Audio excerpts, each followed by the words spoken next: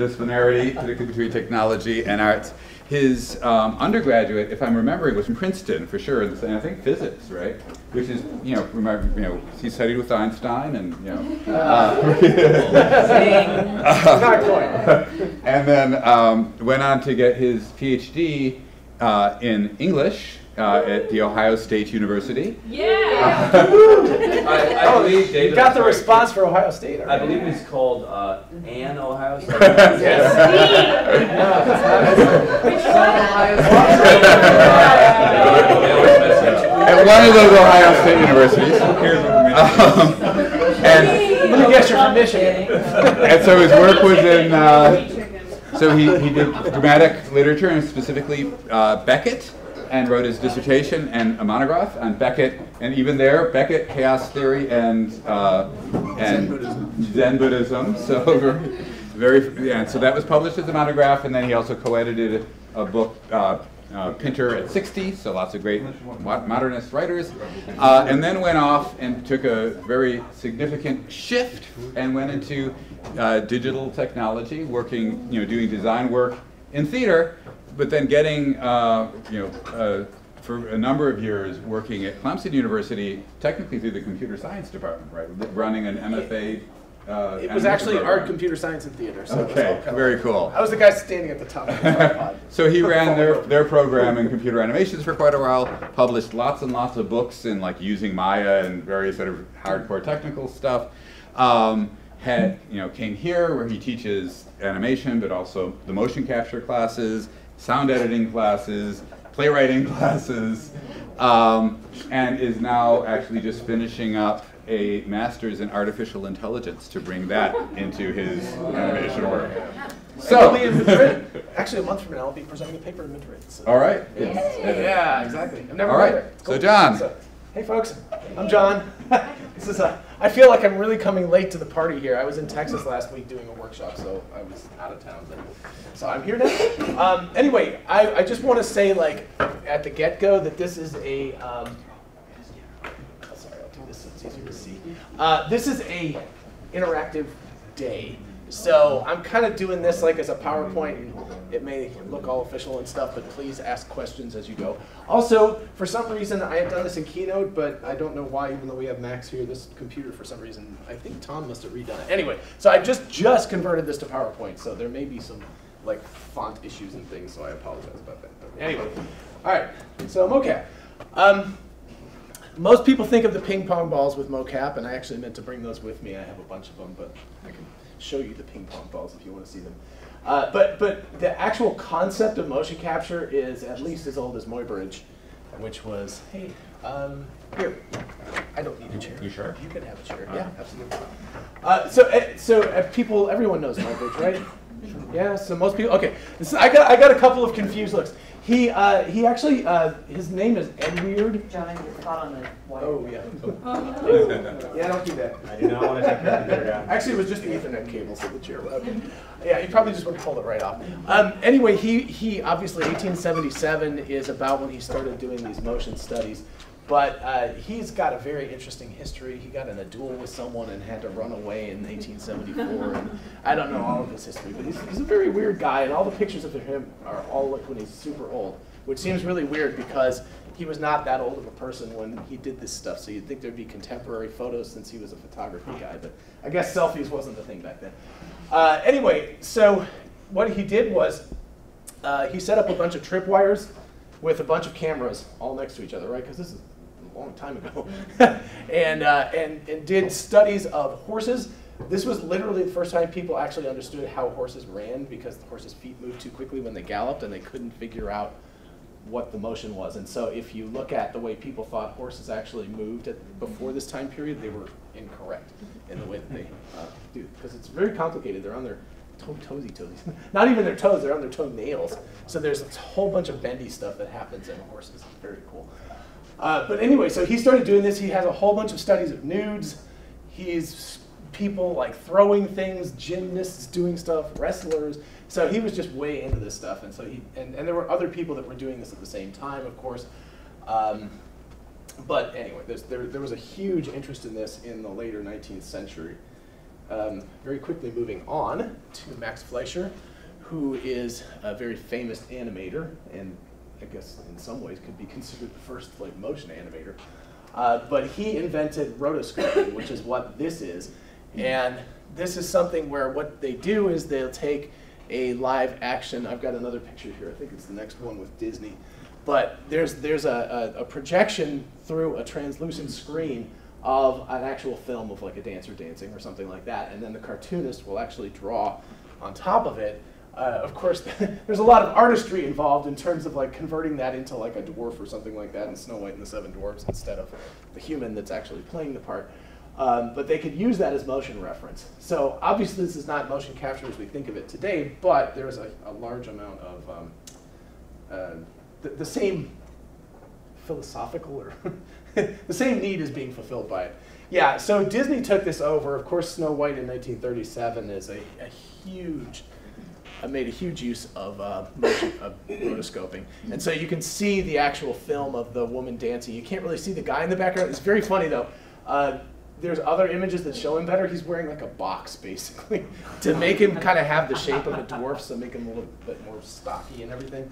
Uh, but but you can see how you know it's it's referencing that, but it's also like the artist has kind of altered the uh, the view so that Snow White is kind of more on a, a three quarter angle instead of on a uh, full front and so forth. But anyway, so it's a very interesting um, use of this, and of course, it's it was a smash hit, and Disney kept doing this for a long time, and then it just kind of stalled there, there was more technology being used for it, but this was the way things worked. Uh, the 1970s Lord of the Rings, if anybody's seen that. Oh, yeah. Yeah, yeah, yeah. That was that was all done with rotoscoping. I mean, so and then moving on and on and on to even up to a scanner darkly, which is yeah. so I mean, so that's 2006. So still, hey, there's a chair right there.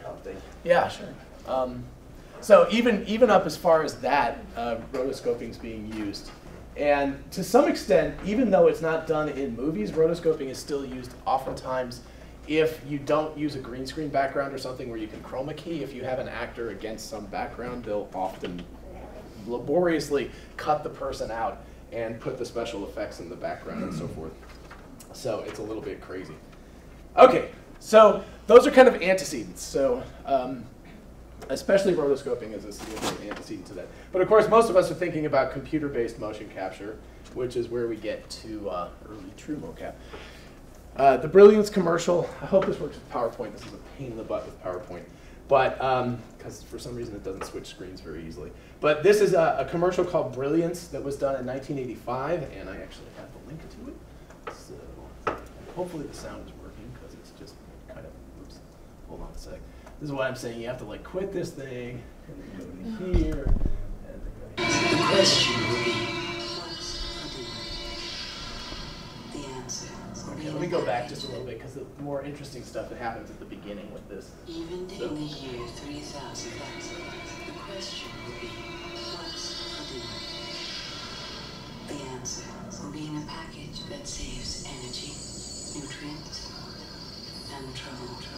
Mm. A package that can last three-year journey to Jupiter and back and back. Even in the year 3000, we see the brilliance of food in it's such a high concept ad for canned food, right? It's just like, oh, okay. So anyway, but the, the historical significance, of course, of that is that it is um, it, it was the first kind of commercial use of motion capture. Um, motion capture, actually, this is so. This is '85. Motion capture had existed for a period of time before this, from the '70s. It was um, it was mostly used in sports research, uh, motion studies, things like that. Oh, thank you. we'll just keep bringing it chairs. Uh, so it was used in a lot of industries before this, and, and if you think about um, like motion studies, a lot of medical uh, departments used it for people like stroke victims or people with disabilities walking or something, that they would study that versus normative healthy uh, adult motion and figure out what was going on with that. So it was it was being used for other things, but anyways, it was used for this. One of the interesting things about this commercial, if you notice, she doesn't move, right? It's body parts that are moving. So you can tell that it's kind of like a dancer's motions, right? It's very very uh, elongated and very fluid and all this stuff. But she's kind of locked into this chair, so that there's not it's not that complicated of a, of a motion. Um, I'll just leave this in this mode for a moment. Even in the year 3000, I know. We haven't quite got there yet, but we're. uh, so moving forward about eight years to 1993, we have um, kind of mainstream motion capture. This is a, uh, of course, significant moment. This is Jurassic Park, which was uh, 1993. The original concept when Steven Spielberg um, got a hold of the script from Michael Crichton, the um, the concept was to use motion capture, uh, not motion capture, excuse me, stop motion for this. So there was going to be, you know, Phil Tippett was going to like move the little things, and there's actually a couple of scenes in the movie. Does anybody recognize those scenes? I don't know. I'm a big Jurassic Park geek, and of course, just watched the most recent one this weekend. Um, but but there's a couple of scenes that still use stop motion, and they look horrific compared to the rest. It's it's the velociraptors in the kitchen, Yeah. like when they go. Yeah, there's a few shots of them where they're actual stop motion, and it's like oh, oh, right. And you can see that in like the original Terminator also when when he turns into the skeleton thing, and it's just bad, right? So it's very interesting because what happened was, and I've actually got this clip if people want to see it, but uh, when um, they were going to do this in stop motion, and then Industrial Light and Magic had just come off of doing The Abyss with the cool water head mm-hmm. thing, and they actually sent some motion studies to Spielberg, and Spielberg showed it to Tippett, and Tippett said, "Uh-oh, I think I'm out of a job." So there's actually a line in the movie where they actually stole that from this, but he actually wasn't out of a job because they still had to capture the performance. And so what they created, or what he created, was this really cool thing called the digital input device. This is the T-Rex right here. Um, scary. Uh, but what it is, is a bunch of potentiometers that are attached to the armature. So it's basically the skeleton of a stop motion character without the body on it, right? But it's got these little potentiometers that measure rotation angle. And so they would use it and really captured pretty amazing performances considering. Um, yeah, of course, this isn't going to work unless it's playing. Ah, PowerPoint. This is why I use Keynote all the time, because PowerPoint's a pain in the rear. Um, okay. Switch back. Escape, Back. there we go. Okay, so this scene, of course. So just imagine this little tiny, like, you know, metal thing getting moved around to create this.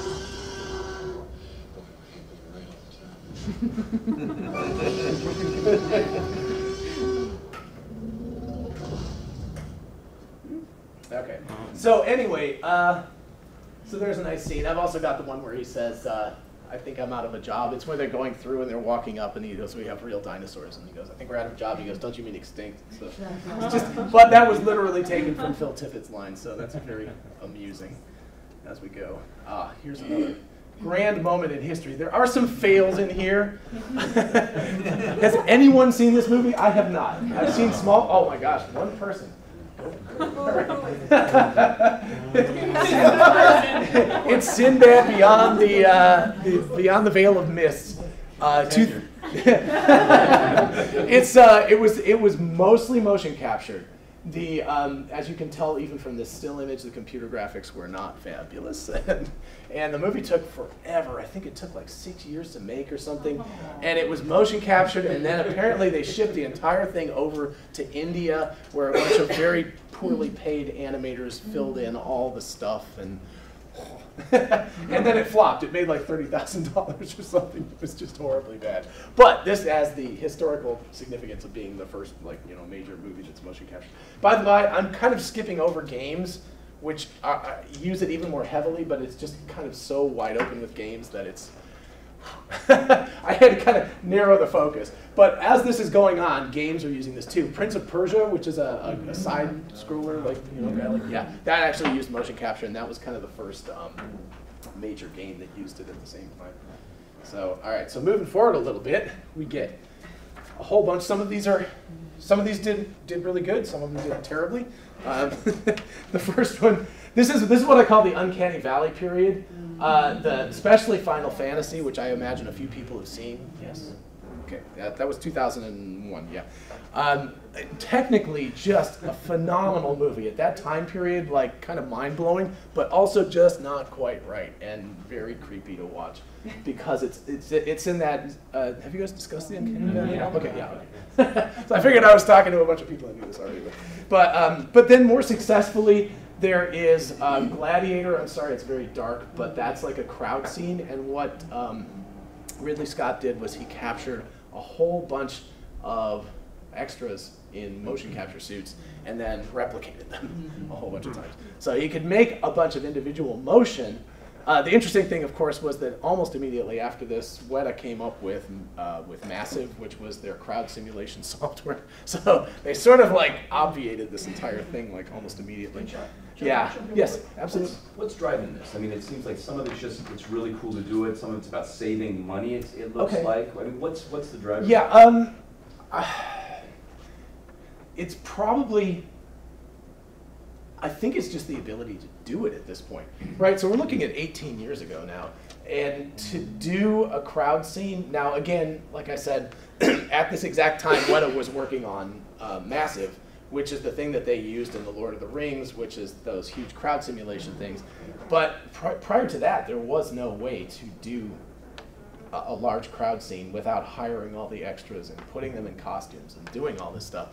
Uh, and if you want to have 2,000 people all in fighting uniforms with spears and like, that's a massively expensive thing, uh, and on set also. So right, so there was all those were happening at the same time. Then, of course, I've kind of skipped it, but this is the exact time period when Jar Jar Binks existed, like 1999, I think, was the uh, Star Wars Episode 1. So that was something that just couldn't be done effectively without a digital creation.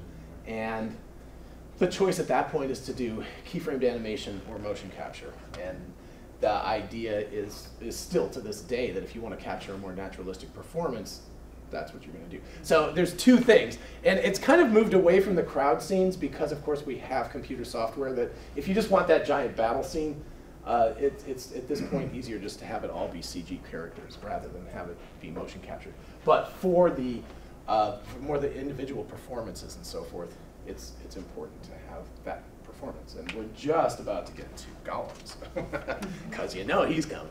Uh, but then also we have The Mummy, which was 1999, which also used some motion capture and so forth. So, um, and speaking of, uh, this is where I don't know. I draw the line here. We, it's now not even called mo- uh, motion capture anymore. It's now called performance capture, and I think the line kind of comes with Gollum. Um, you, know, you could draw the line at different places if you want to, but he's a, a, an absolutely amazing character. And I'm assuming most of you have seen this before, but just in case. Sorry. Yes. what was the Maybe you all have seen that too. Oh, I didn't know Gollum was uh, pushing huggies. Oh gosh, I gotta watch it again now. Oh.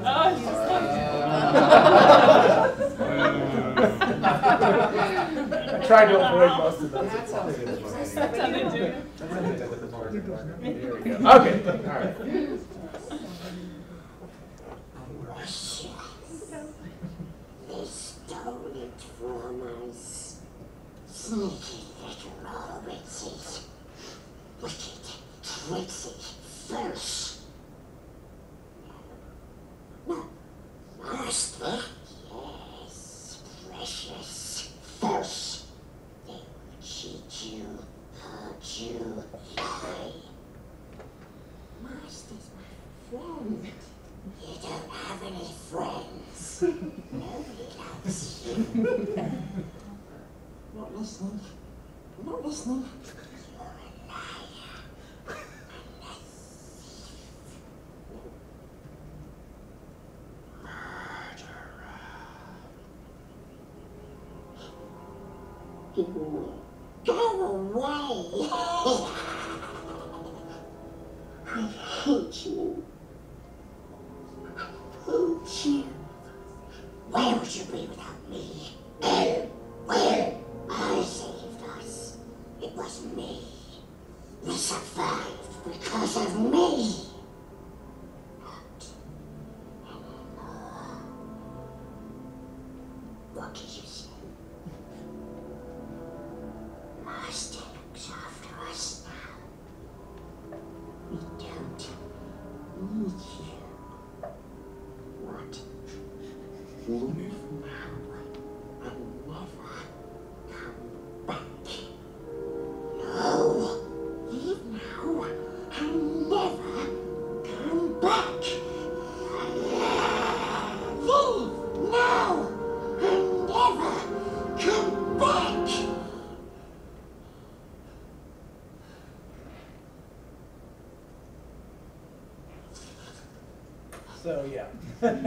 I, mean, even after 16 years, it's kind of impressive how um, um, how well that plays.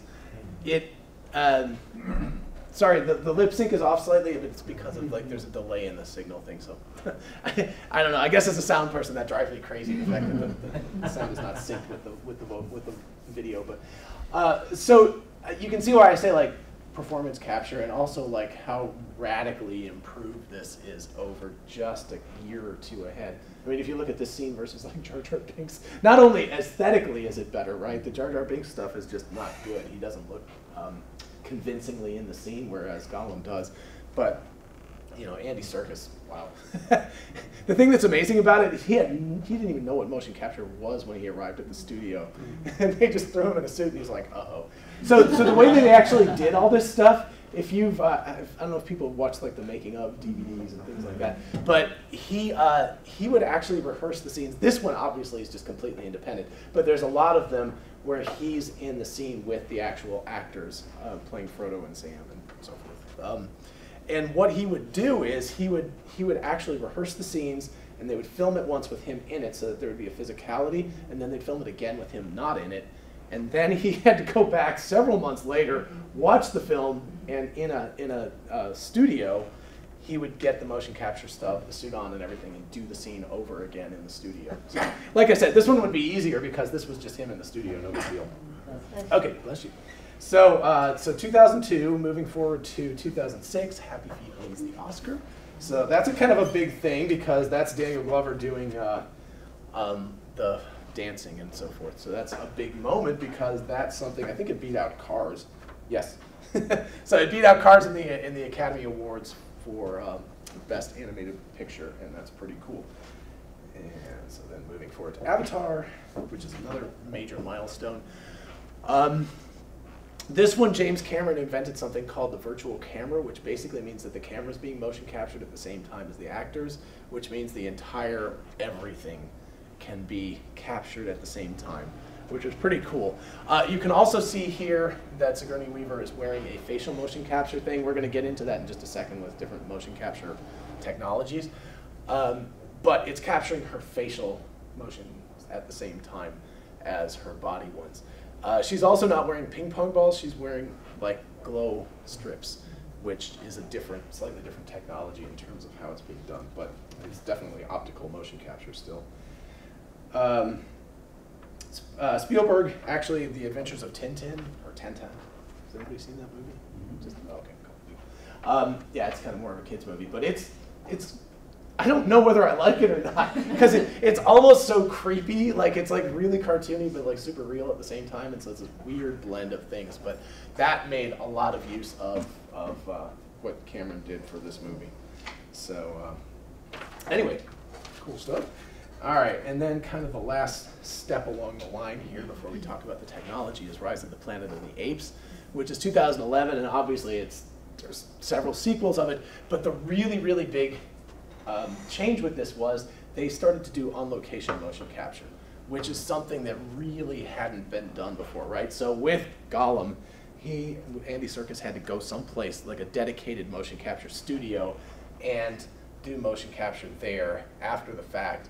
And uh, there's a little making of. So this has got this. Yeah, let me go back because the beginning of it is the coolest part, honestly. um, but you can see here where they're.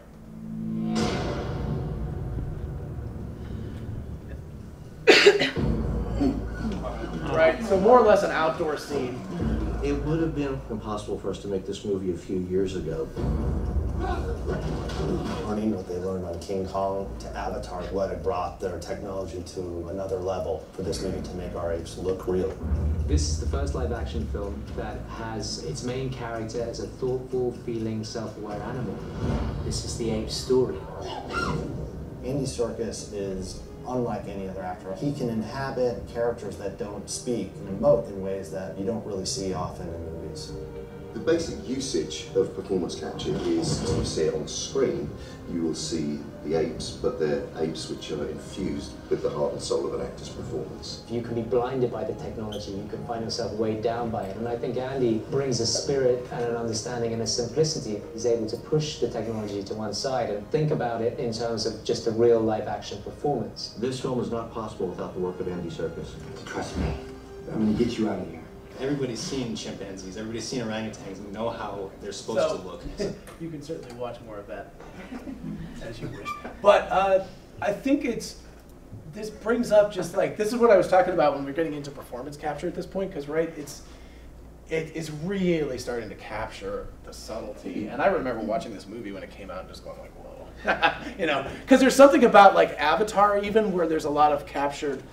Um, subtlety, but it's sort of like creatures who are very out of the ordinary. This is like you're freaking putting a, a, a, monkey into like a scene, right? It's like we know what, as these people say, we know what monkeys look like. We know more or less how they behave, uh, and they have to interact with physical, you know, people on stage, right? So there's there's just a, a, a major step up with that, and each one of these movies. I keep going back to see them, not necessarily because I like the plot so much, but I'm just kind of blown away. Right, the latest one with all the rain, and I'm just like, oh, it's kind of mind mind blowing how uh, how effective this stuff is. And they do it even more. There's uh, the later movies, like you can see him like riding a horse with the mocap rig on, and they're capturing the whole thing. Um, the really cool part is that they've got him in a lot of the scenes. He's constructed Caesar, the monkey is constructed, or the ape is constructed in such a way that he kind of is the size of Andy Serkis, so they can more or less just stick him on top of him, uh, and so they don't have to do a lot of uh, crazy stuff to remove him from the scene. But that's very cool.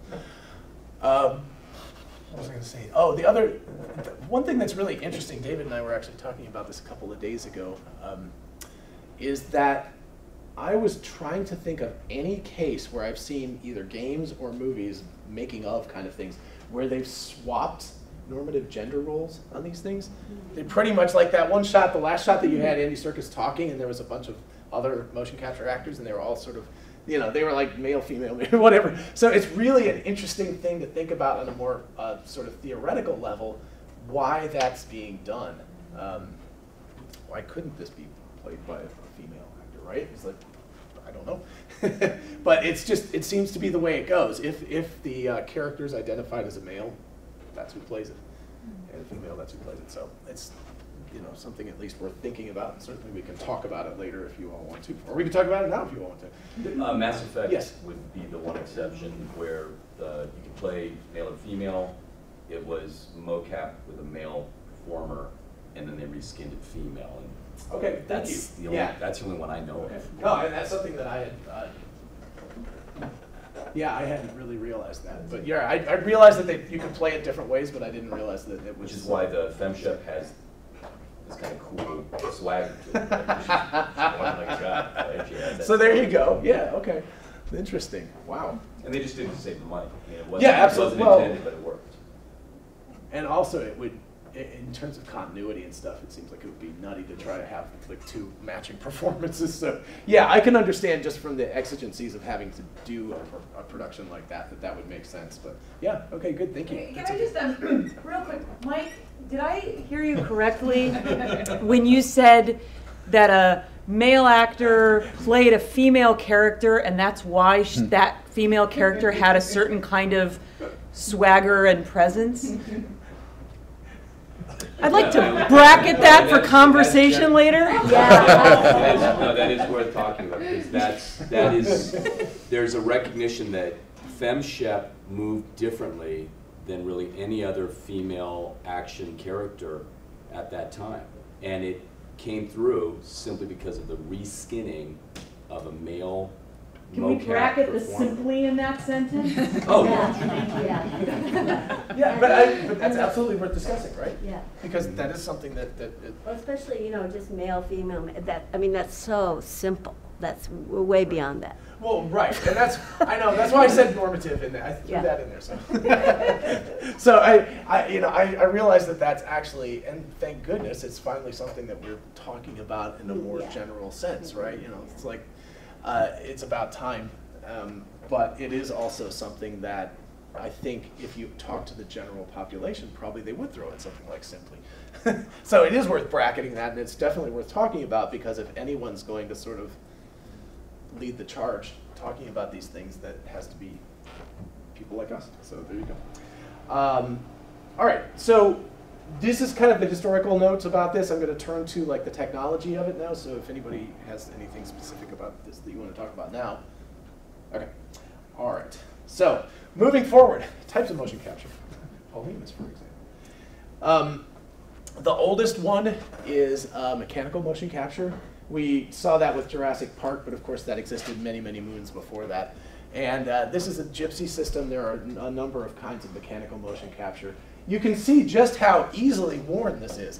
I love how she's smiling like no big deal, right? And, and they're also not showing the big ass wire that's connecting her to the computer, you know. So this has the advantage number one of it was it was something that could be done a long time ago, and be, with the technology that existed, it could use potentiometers to register um, the rotation angles of different portions of the body, uh, directly tracking things. Um, you can see that it's an exoskeleton, obviously, and uh, the it's very impervious to interference, also. Right? It doesn't matter where you do it, more or less, as long as you can run your cable long enough to get to the computer. On the other hand, it's very cumbersome. You're not going to roll around on the ground. You're probably not going to do fancy dance moves and things like that with this. Um, more modern versions of this have like Wi-Fi connections and so forth, so that you're not quite cable like you would have been back in the day. But still, you know, there's a, there's a limitation to exactly what you can do with a system like this. Uh, another very famous one, maybe people my age more than other folks, but anybody recognize what this character's name is? I think actually it says right there. So it's, it's Waldo.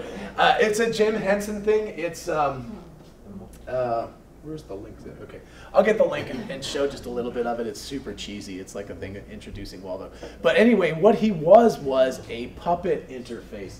So you can actually see up in the top right is a little, it looks like Kermit the Frog. It's like a little sock puppet thing, and you could move the mouth and all, and you could rotate the head. And then as you move the armature, it would actually register that and move him in space. Now, they were very clever because, of course, he doesn't have legs or anything like that. Um, so it can just sort of float around through space. They also then, over time, created these, uh, like, the arm Waldo? Yeah, dual arm Waldo and face Waldo and um, you know, Porta Waldo. So, so at the beginning, it was this thing that was all kind of connected to. Um, uh, it was very limited in terms of what it could do, but they advanced the technology, still using digital stuff. Get down here to the notes. Whoops. Grab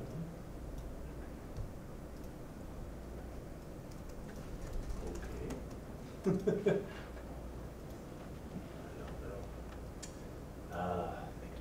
PowerPoint. All right. Well, I'll try to find it real quick. Um, Hey, Mike, to add on to what you were saying, Saints Row 4 did the same thing. the- What was it? Uh, Saints Row 4, and like to the point where the, the performance of female characters was actually hyper masculine for uh, comedic effect.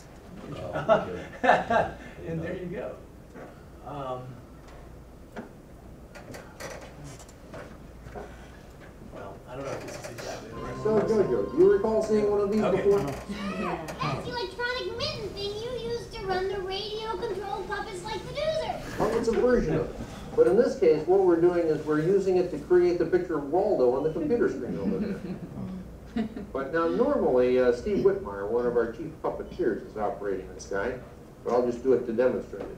And over here we have Rex Grignon, who is our animator. Okay, and what Rex is doing is he's taking these moves that I'm doing with my hand and, and converting it into Waldo on the screen there, see? Me! And the really great thing is that the computer does it all in real time.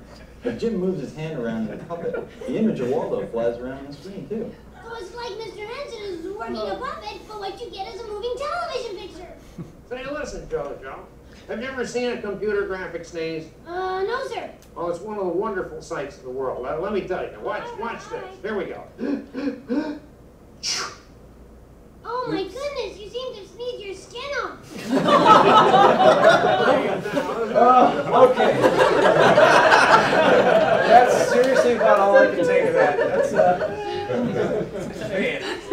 It's uh, yeah. It's it's so 1980s. It just hurts. Especially the hair and the suspenders. was like wow. it's like I was getting flashbacks of seeing Almost Fire again. Uh, anyway, so so but this was uh, this was you know pretty major stuff that it was actually puppeteering happening in real time, which is of course very important to uh, to things that were coming up very shortly after that, uh, because it allows live performance to be done in a digital manner. So this was a, a huge, very, very cheesy, but also it just kills me how much Jim Henson sounds like all of his characters. I'm like he really didn't do anything. He's just Kermit the Frog was just his voice. So. Um, okay, so uh, so that was mechanical stuff. Magnetic motion capture. Uh, the Polhemus system is like the very famous one, which it's still out there. I looked on the web the other day, and it was like it's there, so you can buy one if you want to. Uh, it uses magnetic induction, which basically means that there are coils that are oriented in 90 degree angles to each other. You flood the space with a very large magnetic field, and then those things are they have induced voltage based on that. So if anybody with a physics background, right, Electric electricity and magnetism interact with each other. Then you have a whole system that has to. I love how they try to hide it, but there's like a cable behind her leg. Yeah, you know, she's like, yeah, but there's like this cable attached to her leg. Uh, so anyway, uh, again, modern systems have like a Wi-Fi connection, but they require um, the coils require some amount of power, not a lot, but anyway. Um, so, so what it would do is it would just tell you where it was in space, right? It would induce uh, uh, something and it would say like, oh, this thing's moving right now, and it's changed its orientation and so forth. Um, it can be very highly accurate. One of the things I even advertise these days is like things like piano playing or something like that, or guitar. You can actually capture the motion of the fingers down to very precise amounts. Um, uh, if conditions are good, I'm sure you can speak to this. Uh, it has a very high sampling rate. It can sample at 240 hertz or 240 samples per second, which is very fast, which is a good thing, right? If you're doing things like golf swings or tennis or whatever, uh, or people moving quickly. Um, it does have a lot of shortcomings, however. One of them is anything metal in the space will mess things up, and buildings tend to have a lot of metal in them, right? Because you know, behind this wall are big metal girders, probably. Uh, it's uh, got a limited range because the magnetic field uh, decreases at a cubic rate, so it's very quickly it goes away. Um, slippage of the markers, which is something we're going to talk about in the uh, other system that we have here. Uh, the markers become offset, recalibration, effect, you know, anyway. There's some problems. The biggest one is, is just that you have to have a space that's very, very, very uh, perfect. it has to have like no extraneous magnetic fields. You can't be running microwaves nearby. You can't have like metal in the walls, things like that. I don't know. Do you want to speak to this? Because you actually did um, the Tempest with that, right? Yes. Yeah, so there you go. Sure. So I'll talk about the problems. um, well, so that was that room next door was actually originally built, the IPL, the Interactive Performance Lab, uh, for the Polhemus system. So we got it in '98, I think it was, '99. Um, so when that, you, if you go into that room, you'll notice the the outlets are uh, about four feet off the floor. That's because we had a wooden stage, and that was to keep the performer away from the rebar on the floor. Um, and then there was this Doctor Who like wonderful globe that I kept around for years because it was so cool looking that emitted the emitted the magnetic field. Uh, but with those lim- and it was wired at that point. But with those limitations, it was still it worked really, really, really clear well. So um, we used it for teaching purpose, but the big project we did with it was the Tempest in 2000 and uh, I've written about, other people have written about it. So you can you can read and get more details. Uh, but uh, in a nutshell, what we did there um, is used the limitations of the system. You know, not apologizing for them, not burying them, So the basic conception of the show, this is again back in 2000, is that the ma- that uh, Prospero's magic was media, and that Ariel was generating the media. That was her. So that everything in the space that people saw was an empty soundstage, in effect, the island that Ariel was creating, and riffing off of that allusion to Ariel having been trapped in the tree, we created a wooden cage for her, and wooden, wood was quite perfect thematically, and that's just what we needed. So a wooden cage downstage, uh, you know, downstage of all the performers, and she was literally entrapped. And in her motion capture suit, we used the wire, you know, keeping it so she was like an inverted marionette. And so she was performing, uh, and her first of all, the scenery was so we had a huge projection on the back of the fine arts stage with rear projection, and then there was a smaller projection in Prospero's cell, which is another space. And so um, every image that we saw of Ariel, whether speaking to Prospero in her main avatar or as the harpy or any of those other things, were all motion captured in real time. So we always saw the performer, and then we saw the avatar wherever it was. In a lot of cases, it was straightforward mocap, but in other cases, we totally played with the sensory input. So her hands would control something floating around. We used you know, voice the way that we did with Isadora yesterday, so that the sound could then like there was one scene, um, Come unto these sands with Ferdinand, where it was actually this sort of glowing, wonderful blob that was following him around, and her voice changed the the size and the color, and her hands moved it around. Uh, there was some where she split into multiple characters for the mask, that kind of thing. So we totally played with with that technology. And then the idea at the very end of the play was that when Prospero, you know, uh, gets rid of his magic, um, what he's doing is basically turning off the mocap system. So what he does is he and frees Ariel. So he literally, for the only time in the play, this is before the Matrix, it was a very Matrix kind of moment. For the only time in the play, he actually goes over to the cage, looks at the physical performer, takes off the sensors so that there was this wonderful effect that happened with the model just collapsing, you know, because the sensors were all falling to the floor. And then all the media goes away, it's an empty stage, and she runs through the audience and does cartwheels and, and escapes. so, I, one interesting thing that I found from that, from a performance standpoint, that I hadn't anticipated when I was creating it, but that goes into um, what Don was talking about uh, in terms of the way the technology affects you, is of course her performance when we rehearsed, we rehearsed in there. And so she was looking at the real time mocap, and the actors, you know, in the scenes with Prospero were. Uh, or in the scenes with Ariel, were interacting with the avatar in real time, even when it was a very crude model. So they were really used to that. And early on in rehearsals, she could look at the screen and see what she looked like. In the actual performance, she was looking out at the audience as she was moving. Uh, so she was playing off the sounds, it was real time, but she wasn't seeing them.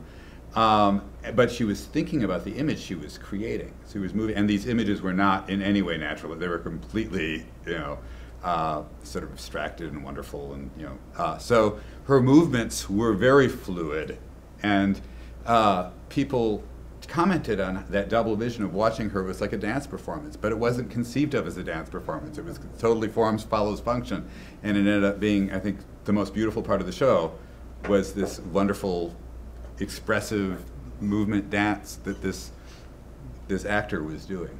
So that was a lot of fun. So it worked really nicely, but ultimately we upgraded the system, upgraded the system for the virtual vaudeville project, moved on to an optical system, and then John will talk about how that pretty, pretty much put an end to our real-time motion capture experiments until this year where we had a new system. Actually, moving back to it. so, um, although although you can do, you can certainly do real time with optical, but it is, yeah, it requires a lot more technology. Speaking of optical, uh, there's two kinds of optical motion capture. The one that most people are familiar with is the passive one, uh, which is the Vicon system, um, and that's you know that's the ping pong balls on the uh, on the suits. Usually, it's kind of a spandex, like really tight suit. Um, because the, the big thing with all of this stuff is to keep these markers from jiggling. Uh, that's actually, it's a very interesting challenge when you try to motion capture dogs and stuff because they have very loose skin. And so they tend to, when they walk, all, all the motion capture stuff goes brr, brr, brr, like that, right? So anyway, so it's, it's, it's, also dogs don't really like to have like tight suits put on them. So, so go figure. Uh, but, but there's, there's some major advantages to this and some disadvantages. Uh, major advantages are, again, much less cumbersome. It although the, the system is similar to that in the sense that the, the, the markers are not that cumbersome, right? They're not that big a deal, especially now that we've gotten rid of a lot of the wire stuff. But here you have no wires, no bad, no packs, no nothing. It's just the uh, markers. You can see in the background of this picture, which is actually why I picked it, that there's an infrared camera kind of shooting out. You can sort of see the red ring. So what happens is there's LED lights that strobe at whatever speed, right? So this can also capture at very high rates of speed, like 120 hertz or 240 or whatever. Um, and so they strobe out at that speed.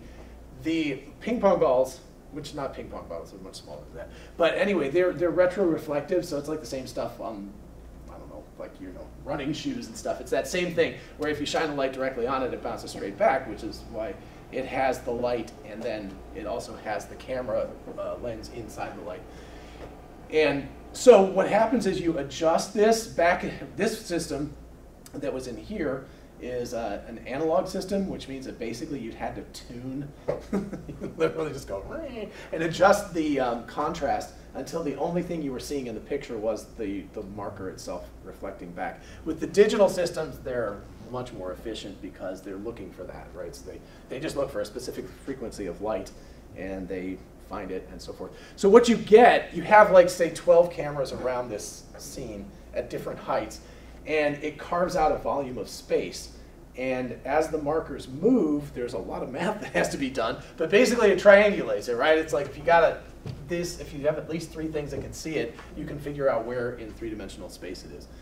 Uh, and you have 12 cameras because there's a lot of stuff like if you like move your arm underneath it may hide it from a bunch of the cameras. Um, one of the big problems with optical motion capture like this is if you do something like this. A lot of doing this motion is a terrible thing with with uh, passive systems because oftentimes what will happen is it'll go this and then your arms will go like this. it's like you're like oh crap, another disconnected. So a lot of cleanup work is necessary with that. Um, but they're they're very unobtrusive to use.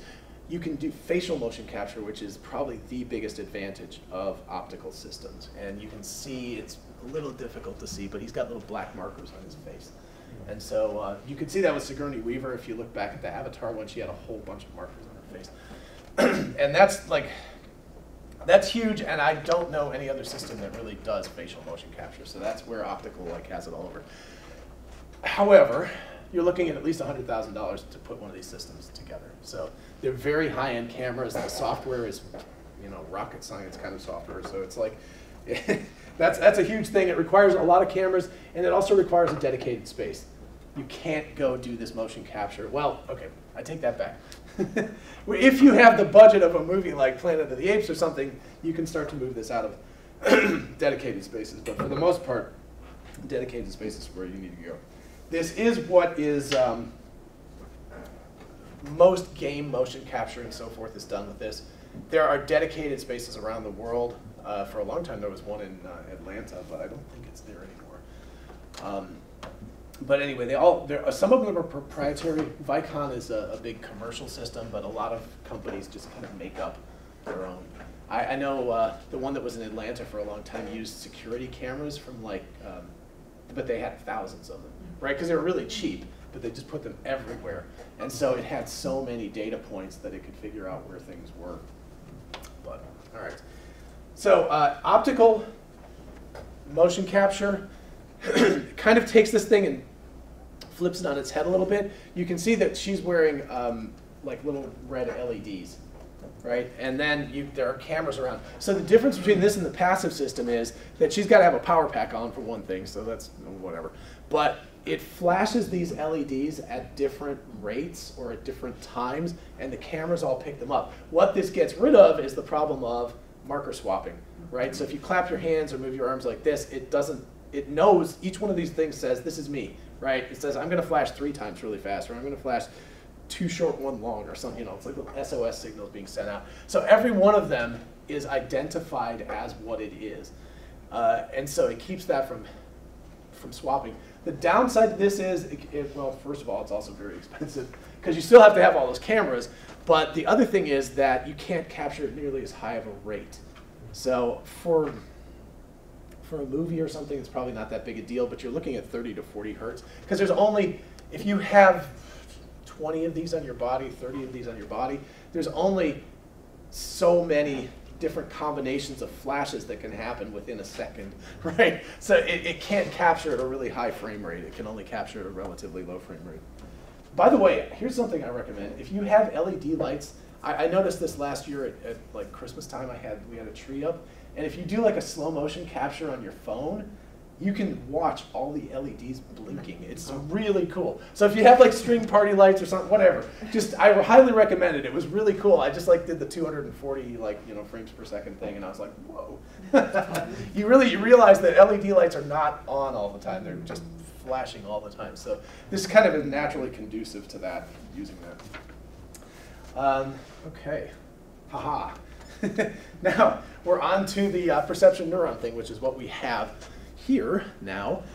Uh, this is an inertial type of motion capture. This uses the exact same thing that's in your phone.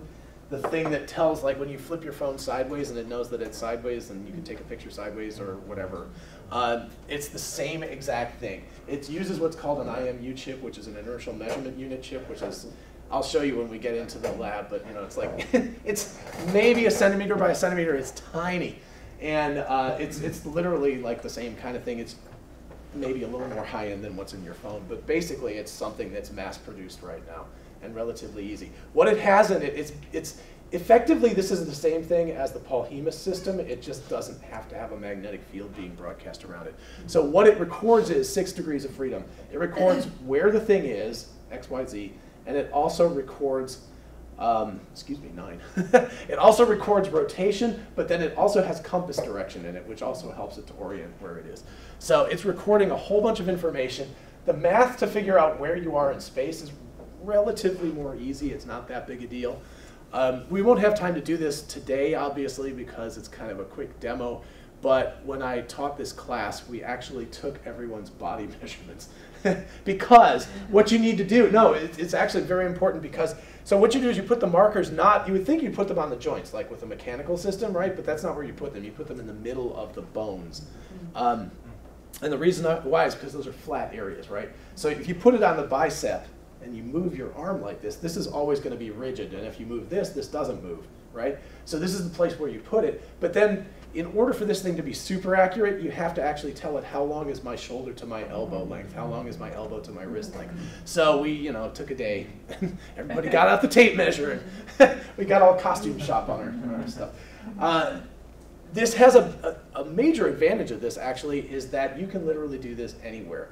Um, if you can hook up a laptop, if you have a laptop and just a, a Wi-Fi router, which is like 20 bucks, um, you could take it any place you have power and, uh, and you can motion capture there, right? Because it doesn't depend on anything. It doesn't have magnetic interference, anything like that. Um, and it's also really inexpensive. These things are in the thousand dollar range for a suit. So with the software. So you know. And you said you could run it on a fairly standard laptop. Yeah, it runs on a laptop. In there right now, we've got it on the, the trash can Mac because of the demonstration this afternoon. So, but it'll easily run on this machine. We run it on that machine in there. It will, now, with the caveat that this software specifically will capture up to five people at a time, but you need a more powerful, you know, the more people you're capturing at once, the more powerful computer you need. But even on a desktop iMac, we captured three people real time, and it worked fine. Um, probably we can capture five. It looks like what happens is it starts, the display starts getting choppy, but it's still recording the, the data at the right speed. Yes? Yesterday Mark was um, showing us, uh, um, I wanted to know if it's the same system, Rokoko. is a suit, I don't know if you're familiar with it for motion capture. Right, actually I think that's... Uh, Is it the same so system? Oh no, I've got iPi. Um, if I'm remembering correctly, there's so many companies that do this. They might be doing this one, but it also is possible that they're doing uh, the markerless. Did it? Does it have the little units on it? I'm just trying to remember. I, I know I'm familiar with it, but I can't remember what technology. I think it does, but he said basically you don't need cameras anymore. It's just the router and the computer. Right. Yeah. So that's what this is. So it it very well might be the same thing. I, I just I I've heard of them, but I just can't remember exactly what technology they use. Um, but the really big, really, really, really big advantage of this is this really democratizes the, the, the motion capture, right? There are problems with it. there, okay, for one thing, stuff drifts, as we all. Yeah, right? So it, what it does is it knows where you are, right? It's like you're recording as you move, But let's say you do some sort of a plie or something like that. You jump and then you spin and then you move quickly. It will start to lose track of where it is. Uh, one thing that's really interesting is there's kind of a, a cheat that they have in the software, which is a ground plane like lock, which basically keeps your feet on the ground. Um, but the problem with that is that you might, in some cases, like if you want to sit on a chair or something like that and pick up your feet, it will stick you on the ground. But if you turn that off, you look like an ice skater because it doesn't it loses it loses sync with the ground, and so like kind of you start sliding around. so it's you know it's like okay, we're always working on things, trying to figure out what it is. Uh, a- again, a big advantage to this though is you don't have to have a, a space like an enclosed space, a dedicated space. You can do this outside. You can do it anywhere. But again, you know, you're going to have problems with this kind of thing. Um, You can I'm- also hide it inside a costume. Yes, you can put it in a costume, and that's something that's a. Actually, we talked about. Sorry, this was when I was in Texas last week, but we were actually talking about doing that for a specific show that we could actually do some. Uh, we were actually doing a mock design for She Kills Dragons for or She Kills Monsters for part of the thing, and we were like, oh, this would be great. We'll just put make the costumes things like sweatshirts and stuff, so you can easily put it inside. Um, but yeah, so you can hide it because there, there doesn't have to be any visual interaction between the computer system and the um, mocap system, which is really nice. So, but you know, if you're thinking about like live, real-time theatrical stuff, putting this on stage, wow, fantastic, right? You can have your actor walking through the space with the whole thing on and capturing them, as long as you're within range of the Wi-Fi router, which is not a big deal. Like you know, they usually have a pretty big range. Uh, you're going to be fine. So. Um, uh, another another interesting little quirk of this is that we have the suits with the hand capture, but the hands are they're they're not perfect. I, I look at Jason when we're doing this because he was in the class with me this spring, and you know we're like like yeah the hands kind of like this. So I think you can you can set this thing up in a whole bunch of different ways. You can tell the thing that you only want to capture like one arm, or you only want to capture the torso, or you only want to capture the body and no no hands. So you can set it up in different ways. I, we didn't really play with it, but I have a feeling if you just did a hand, it would be much more accurate because it's only having to track that data. So something for the future that we can work on. Okay, the last, uh, last piece of the puzzle is markerless motion capture. This is AKA the Kinect, um, or alternatively different methods of doing this. There's a few different ways of doing this. Uh, one of them is, is a bunch of like kind of more high-end Kinect, which is what it is is a three-dimensional camera. It's taking video of you, and at the same time, it's also getting depth data by bouncing something off of you. So it's figuring out where you are. It, the Kinect only works so well because it only gives you kind of a two-dimensional view of the person. But if you get a bunch of those together, you can get more of a three-dimensional view. Uh, another way to do this is a whole bunch of cameras, like 12 or 15, mounted around a kind of big white box. So you imagine flooding this box with light, right? So you've got it kind of built up from the wall and it comes out, and then there's cameras mounted all around that. And when you step into the space, it figures out where you are, who you are, what you are, puts a skeleton on you, and allows you to do motion capture. The cool thing about that, of course, is that you literally just in your street clothes walk on, you know, walk into the thing and it starts recording you, and you're instantly um, being mocap. So there's like not a much of a barrier for um, getting in. It's more expensive because it's got all those cameras, but the a really big downside to it is that it's normative, healthy human form, right? so if you don't happen to fit that form, it can be problematic. It might not recognize you. Uh, and certainly it's not going to motion capture things like dogs and stuff because it has no idea what a dog is. So it's what they do is they take a whole bunch of people and they ship them off there and they collect data on them and they figure out what's going on with that.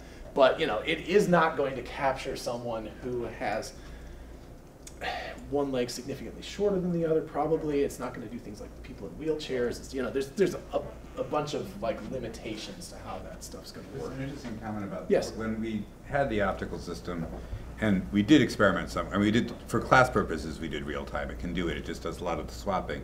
But the most challenging situation I had was one of our MFA actors, a brilliant performer, is a little person, and it was it absolutely could not deal with his body. It was so even the optical systems, because of the software, uh, make these normative assumptions. They, they make a lot of assumptions in that software in order for it to happen in real time. So Is that a, is that a fixable problem, or is it It is, it's just a question of the companies, and, and, you know, this was what, 15, 16 years ago, so it's very, very possible that that has been updated Right, in the software by now, Right. right? Um, but it is, it's, it's the same thing as if you look at a company like Google, for a long time, it was identifying people who are not Caucasian as being like not human, and I was like, well, you need to increase your database size so that you have a bigger sample. So I think that's what it comes down to, is it's just a, it's a, it's a software issue, but it's also a a motivation issue, right? The company's got to put in the resources to make that happen. So, um, but anyway, so all right, so that's kind of the, the sort of this is motion capture lecture part of things. I don't know if there are questions. I think what I would like to do with the rest of the day is um, go in and we can, you know, put on the suit for a couple of volunteers and we can do some motion capture and we can show sort of the pipeline, the non-real-time pipeline. And then this afternoon, uh, David and Jason and Anna are going to be showing me real-time a bunch of that stuff, including things like lip sync and stuff, which is, I know you have, oh, just a small thing, you just knocked it off in a couple of hours. Or, you know, you do. uh, so anyway, if there's any questions about this right now, I'd also like to save time for discussion at the end of the thing. So we have about two hours to do that and then a half hour for discussion. But if anybody has questions based on this at this point. Okay. I don't have Yes. a question on this Sure. necessarily right now, but I'm just wondering, David, if you have any video that you could show us of productions that have happened here? Um, have used motion capture? Yeah, I thought that I was going to have a bunch of stuff on here, but it looks like Tom, I think this is a different computer. I don't know. Everything's been erased. I'll see if I can find it. But we have certainly things that people have done. I don't know if you've got like your Cartoon? cartoon thing, if it's out? around somewhere. I mean, we could show that. Yeah. So we can show that um, certainly. It's, it's more like I wanted to be able to see what its use is on stage. Exactly. Yeah, oh, oh, okay. Yeah. I Well, this think is all new, so. Yeah, the, the, the Tempest was videotaped, the quality wasn't great, uh, and so I haven't even, and it's now magnetic. I'm gonna digitize it and see if I can actually find some moments that illustrate it. I was very disappointed in, in the video documentation. There are photographs, and as I said, you know, I've written about it, and there's some, pho- and I, I wrote an article back in two thousand and one, I think, in Theatre Topics, uh, and there's a pretty detailed description and some photographs there. Yeah. And, my, and I know it, it was a very different look, um, but the Royal Shakespeare Company that also did a Tempest. I Yes. think they were doing, it was a similar model of, of motion Yes, capture. and they, and they got all this PR saying they were the first real Yeah, I time know. Wait, oh. wait. And we, they didn't have, to, Steve Dixon talks about that. They didn't have to go that far to talk about our, our Tempest, but. there you go. Exactly. But that, but there's a lot of documentation about, improper documentation, but there's a lot of documentation of that particular production, which I think at least Yeah. gives us some of the flavor of what you did, right? What you Yes, did. Yeah, the National did a much, much better job I hate, to, I documenting hate to say this, but one of the problems is you almost have to have an entirely separate team to do the documentation. Because when you get involved in all this tech stuff, it's just hard, right? And you're just sitting there going like, I gotta get, grind this out and get it done. And you're not thinking like, oh wow, I should take some cool pictures and video of people doing, you know. So, so right, you almost need to like almost have like a secondary team that's like working on just documenting it to keep track of it. Yes. I'm, I'm curious about what drives this market. I mean, th- some of the engineers I'm working with in 3D kind of more tele-immersion type stuff um, are working for medical doctors, for example, and there's a drive for like a doctor's remote. So, you know, so that drives their research. So I'm curious, although it's nice to think that art would drive something, but who else is using these? And, and in a sense, you know, what is making the research move along through industry or what, what are the? Well, I, it, it makes me kind of cringe to say this, but the military is a huge. Yeah, uh, I, they uh, they just have they have more money than God, you know. Right? So they have so much money, and they're just pouring it into this, and, and for decades, right? Um, flight simulation things, um, even like down to VA stuff, like for injured veterans, they, they have a whole bunch of motion capture stuff that's being Yeah. done.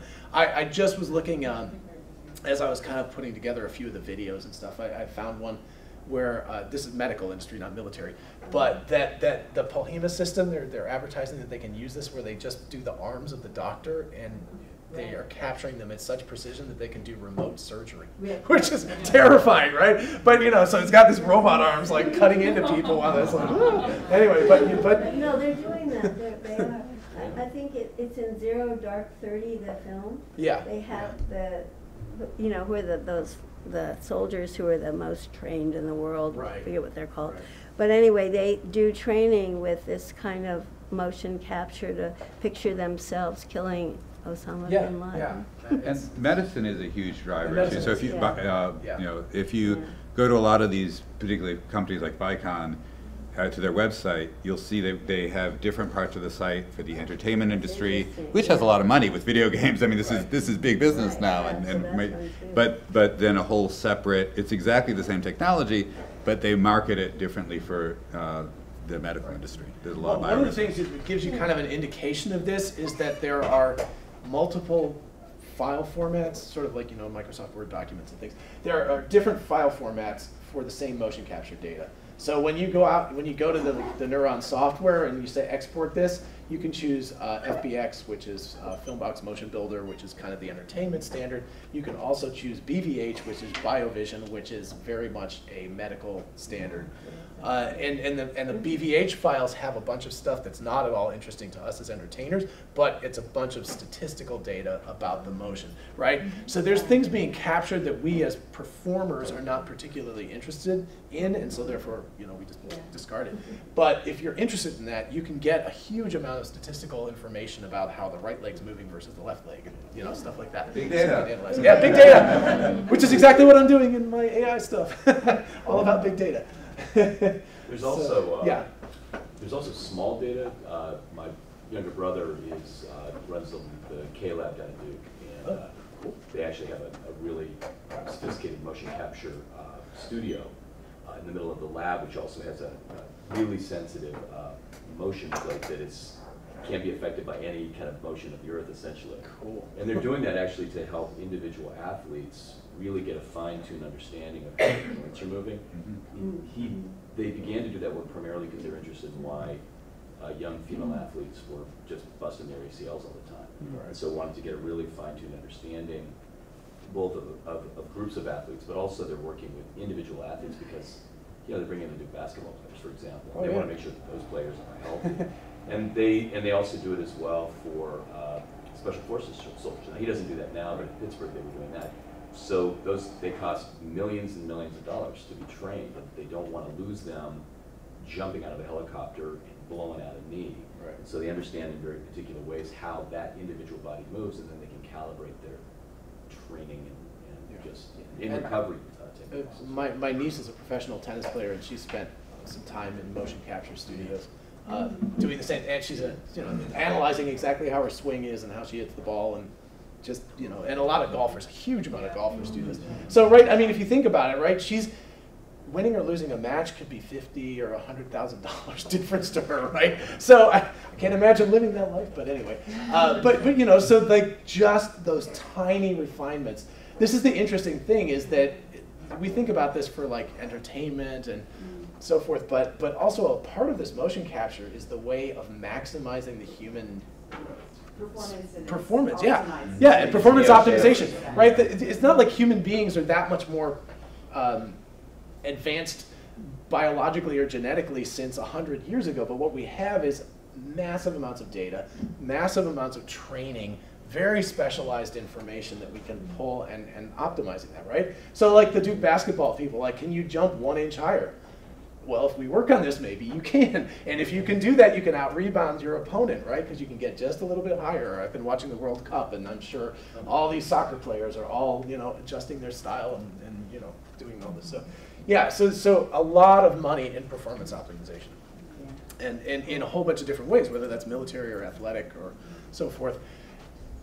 I, I don't see any reason why that could not be applied to something specifically like dance, which is so particularly involved in motion and like, you know, that you could optimize the ability for this person to, to jump or something, right? You know, it's like there's, there's no reason why that couldn't be used exactly the same way. Or to avoid late career injury. Yeah, exactly. Yeah. And that's another big thing, right? Is how do you keep from blowing out different parts of yeah. I mean, It's big 'cause- for dancers.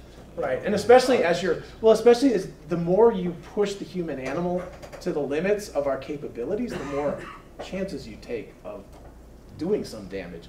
Because you have to know what you're doing.